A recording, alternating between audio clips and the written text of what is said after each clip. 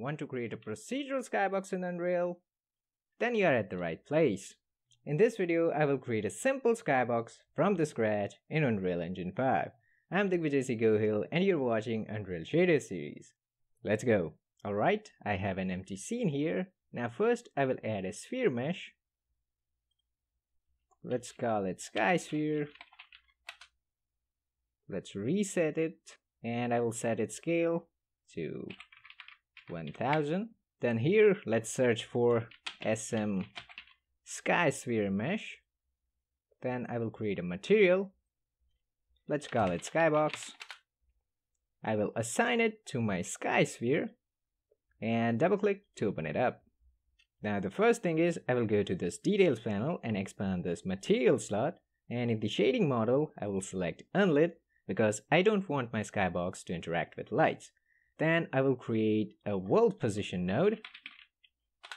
It will give me the position of each pixel of my skybox in world space and I will use this vector 3. And vectors have a length or magnitude and a direction I don't care about length, so I will take this output and feed it into normalized node. Normalized node will turn my vector into a unit vector or direction only vector. Then I will split it using split components node. And in Unreal, up axis is this z axis, so I will take this b or z component. Let's just visualize it. So basically, I will have positive values at the top and negative values at the bottom. At the very top, I will have value of 1 and it linearly goes up to negative 1.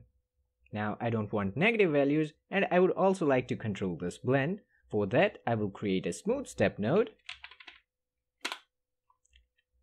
Take this B and feed it into the value.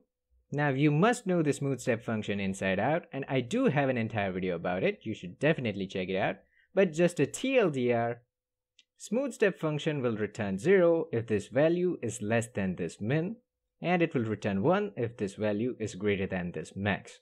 And the values that falls between min and max will be interpolated using Hermite interpolation.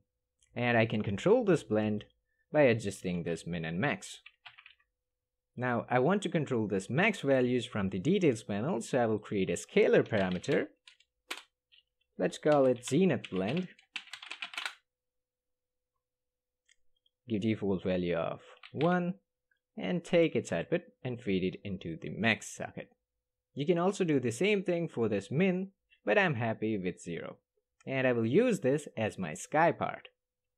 Then for the ground part, I will again take this z component and multiply it with negative 1. So now I would basically have negative values at the top and positive values at the bottom.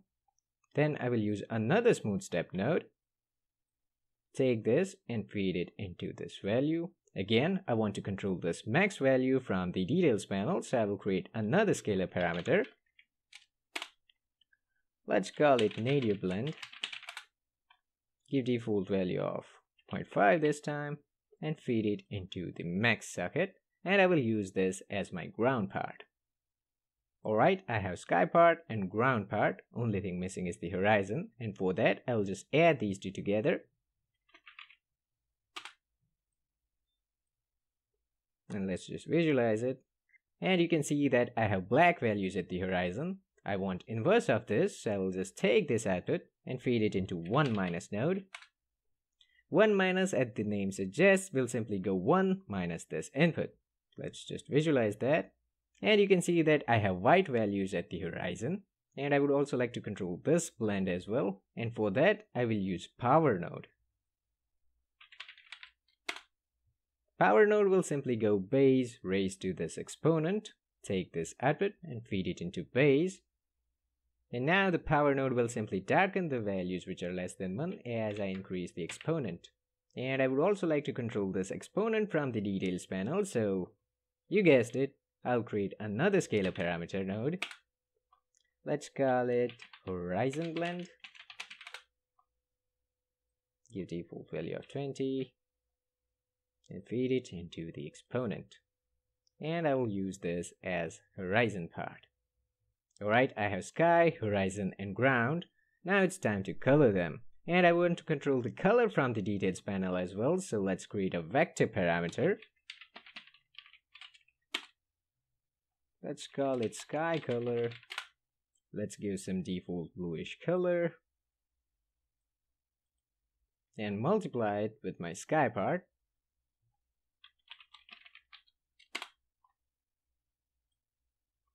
And I'll do the same thing for horizon and ground as well. So another vector parameter. Let's call it horizon color. Let's give some default value. And multiply it with the horizon part.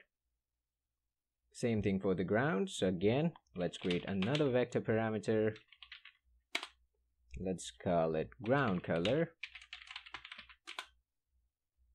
Give some default color. And multiply it with the ground part.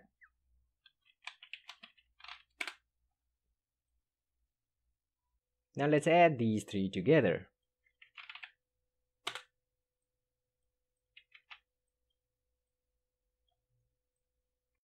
And now due to all this addition, this final output may go beyond 1. I don't want that, so I will just take this output and feed it into saturate node, which is just a fancy name for a node that just clamps the values between 0 and 1.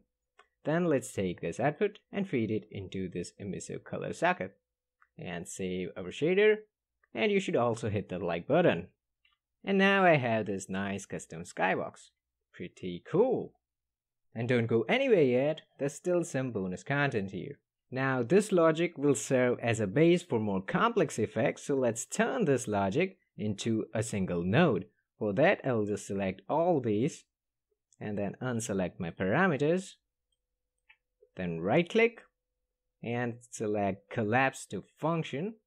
It will ask me where I want to save this subgraph, so let's create a new folder.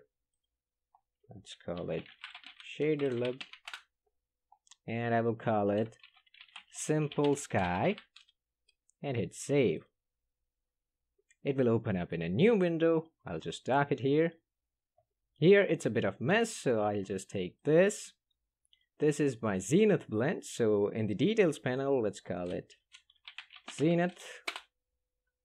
Then this is my sky color, so I'll rename it to sky color. Similarly, this is my horizon blend, so I'll rename it to horizon. This is my horizon color, so horizon color. This is nadir blend, so let's call it nadir. And this is my ground color, so let's call it ground color. Then this output, let's rename it to color. Also, this normalized nodes output will be handy to calculate sky UVs to create like stars procedurally. So let's take this output and feed it into function output node.